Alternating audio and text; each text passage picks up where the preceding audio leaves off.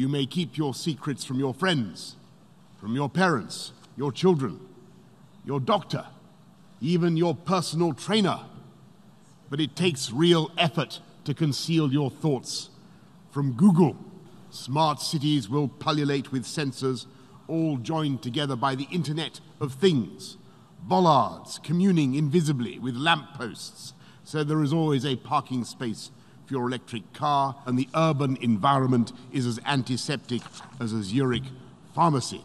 A future Alexa will pretend to take orders, but this Alexa will be watching you, clucking her tongue and stamping her foot. Your mattress will monitor your nightmares, your fridge will beep for more cheese, your front door will sweep wide the moment you approach like some silent butler. Are we doomed to a cold and heartless future in which computer says yes or computer says no with the grim finality of an emperor in the arena?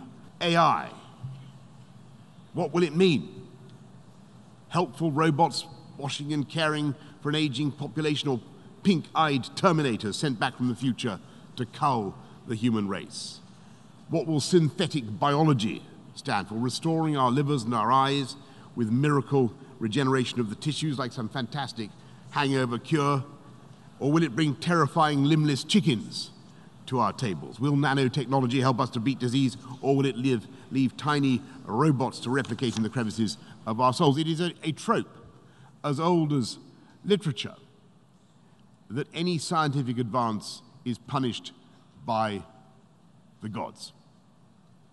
When Prometheus brought fire to mankind in a tube of fennel, as you may remember, with his brother Epimetheus, Zeus punished him by chaining him to a Tartarian crag while his liver was pecked out